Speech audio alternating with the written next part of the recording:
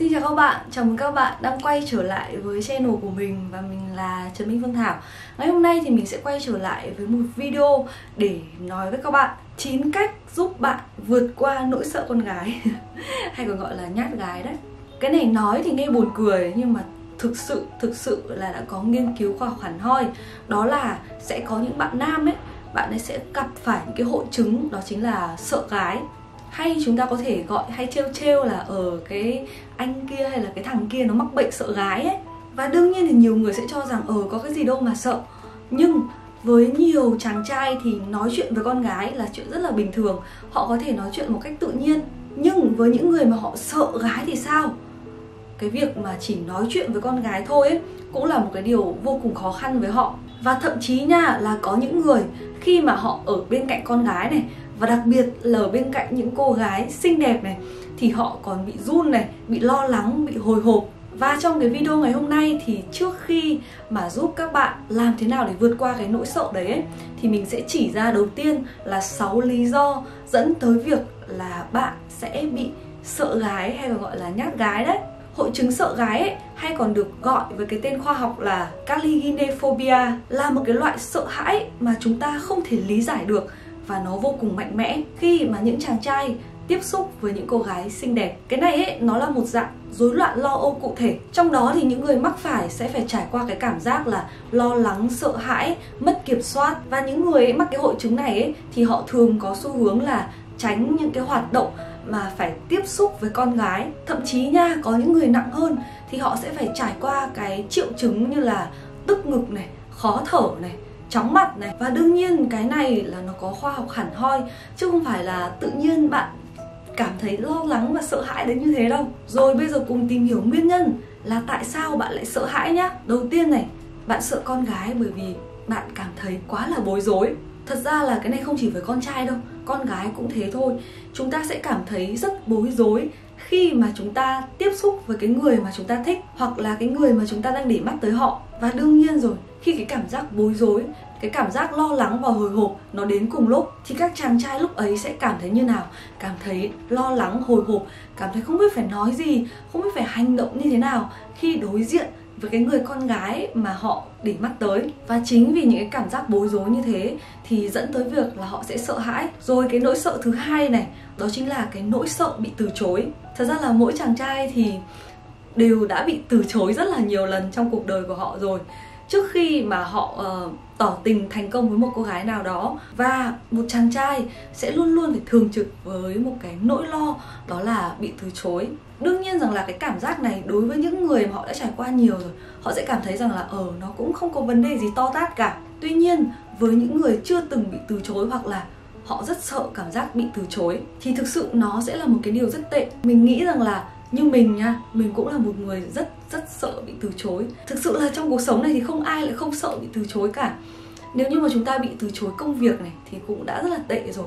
Nhưng mà bây giờ chúng ta bị từ chối về tình cảm, thì thực sự là nó sẽ là một cái cảm giác mà không hề dễ chịu một chút nào. Nhưng chúng ta phải hiểu rằng là cái việc chúng ta có thể bị từ chối, nó là việc ở trong tương lai mà. Thì tại sao chúng ta phải sợ một cái điều mà nó chưa xảy ra, đúng không?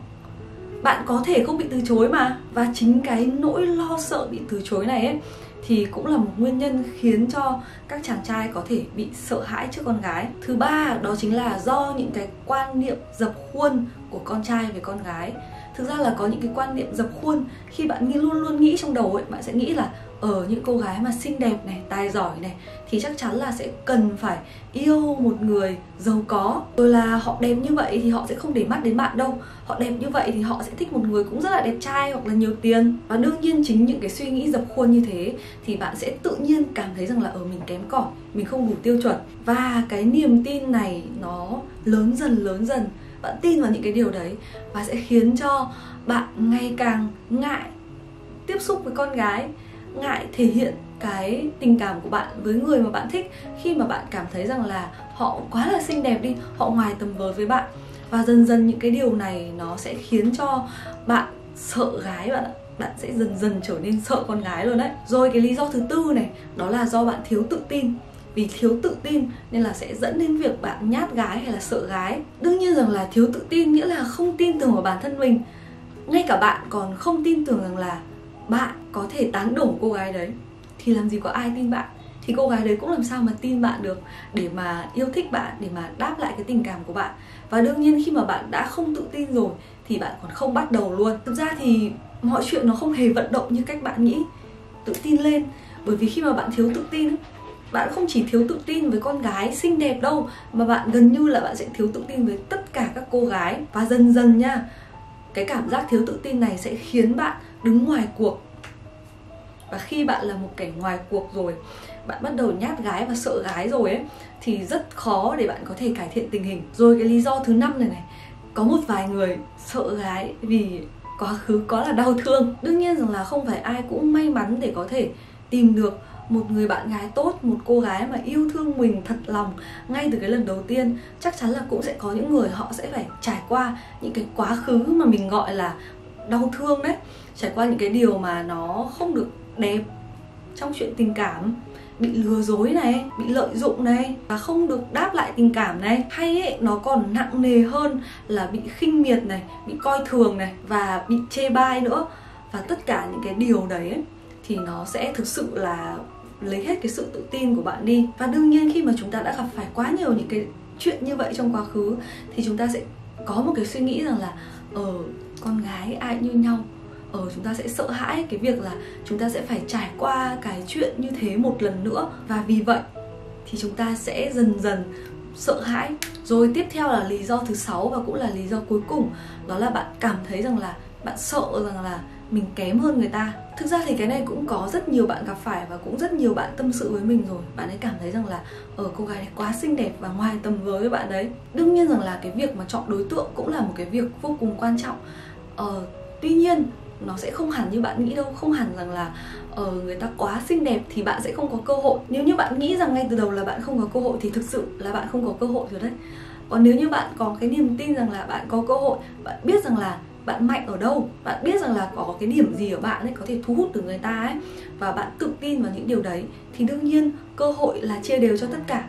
Và bạn vẫn có cơ hội mà. Ok, và bây giờ sẽ là cái điều quan trọng này. Nội dung tiếp theo đó chính là cái cách để bạn có thể vượt qua được những cái nỗi sợ hãi này. Mình tin rằng là mỗi chàng trai ấy, dù ít hay nhiều ờ dù ít hay nhiều nhé sẽ có có những người nhiều thì không nói nhưng dù là bạn cũng sẽ có một chút gì đó cái cảm giác hơi nhát gái hoặc là cái cảm giác sợ nhá.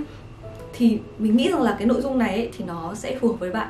Đầu tiên cách để bạn có thể giải quyết này đó là bạn hãy chia nhỏ những cái nỗi sợ hãi của bạn ra và bạn tìm cách xử lý từng cái một. Bây giờ bạn thử nghĩ xem là bạn sợ hãi điều gì khi mà bạn tiếp cận với một cô gái, khi mà bạn nói chuyện với một cô gái, thì bạn phải chia nhỏ nó ra.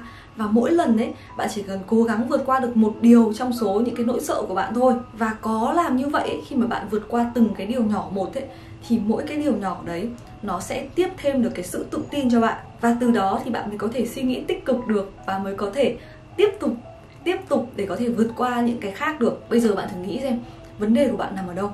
Bạn sợ hãi về việc nhìn giao tiếp ánh mắt với con gái này bạn sợ hãi việc nói chuyện với con gái việc hẹn người ta đi chơi rồi là nắm tay hay những cái skinship nhẹ nhàng rồi sau đó mới đến những cái xa hơn nữa đúng không? Rồi bây giờ bạn ngồi ở có quá nhiều thứ có quá nhiều thứ. Thì bạn lại tiếp tục sợ hãi. Và không bạn đừng làm như thế. Bây giờ bạn hãy đặt ra từng cái một. Cách đầu tiên đó là nói chuyện đi. Ờ, bạn chưa cần nghĩ là ở sau khi nói chuyện thì mình sẽ phải tiến tới hẹn hò như thế nào, rồi tán tỉnh người ta như thế nào, tạo dựng niềm tin như thế nào. Quá nhiều việc để bạn nghĩ đúng không? Bây giờ dừng lại ở bước nói chuyện đã, làm thế nào để mở lời, để nói chuyện với họ, thì bạn hãy làm từng bước một, giải quyết từng bước một để có thể lấy thêm cái sự tự tin cho bản thân mình nhá. Rồi cái cách tiếp theo, cách thứ hai đó chính là khi mà bạn không thể vượt qua được cái sự nhút nhát, cái sự nhát gái hay là cái nỗi sợ hãi của bạn một mình ấy thì bạn có thể tìm đến cái sự giúp đỡ của bạn bè và người thân hay người ta còn gọi là tổ tư vấn tại chỗ đấy. Và đôi khi ấy, những cái lời động viên những cái lời tư vấn của ờ, những người thân với bạn những người bạn bè của bạn sẽ tiếp thêm cho bạn cực kỳ nhiều sự tự tin luôn và tiếp thêm được cái can đảm cho bạn để bạn hành động. Chứ không phải là lúc nào cũng chỉ ngồi nghĩ thôi ngồi kiểu tự tưởng tượng ra. Và đương nhiên nha bạn cần phải tìm sự trợ giúp của những người mà họ cũng can đảm họ cũng mạnh mẽ và họ cũng tích cực. Đến bây giờ bạn đã nhát rồi, xong bạn còn hỏi ý kiến của một ông mà còn nhát hơn cả bạn. Thế là thôi là cả hai toang luôn đấy. Rồi, cách thứ ba mà mình muốn tiếp tục nói với bạn, Đó chính là bạn hãy hành động bất chấp mọi thứ. Khi mà trong đầu bạn vẫn có những cái suy nghĩ tiêu cực, Thì chắc chắn là bạn vẫn còn sợ hãi rồi. Và bạn chắc chắn là bạn sẽ không muốn hành động rồi.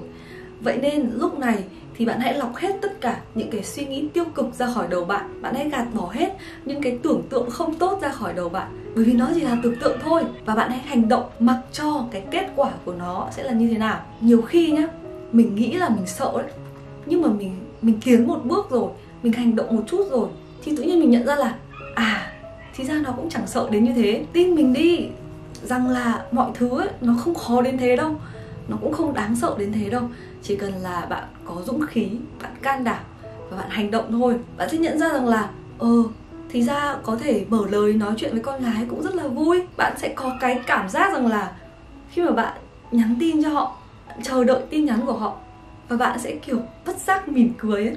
Đấy, chính là cái cảm giác đấy. Bây giờ mà bạn không bắt đầu nhắn luôn không bắt đầu hành động luôn thì làm sao mà bạn có cảm giác đấy đúng không? Bạn sẽ luôn luôn sợ thôi. Ok và nếu như mà bạn có cảm thấy rằng là không tự tin về bản thân ấy về ngoại hình của bản thân ờ, có một điều đó là quá béo chẳng hạn thì bạn có thể dùng thử Coffee Idol Slim nhá. Đây là một sản phẩm mà mình cũng đã nhắc đến ở nhiều video rồi và mình cũng đã dùng đã và mình cũng đã dùng để giảm cân thành công. Mình cũng đã tư vấn được cho rất nhiều bạn sử dụng và giảm cân thành công. Mình sẽ để thông tin ở dưới phần mô tả nhé nếu như các bạn quan tâm ấy, thì có thể nhắn tin cho mình qua insta của mình, phương thảo.zoe mình hứa là sẽ trả lời các bạn sớm nhất có thể. Ok, như vậy là video ngày hôm nay thì mình đã nói với các bạn những cái lý do mà khiến cho bạn nhát gái, sợ gái và các cách để giúp các bạn có thể vượt qua được điều này.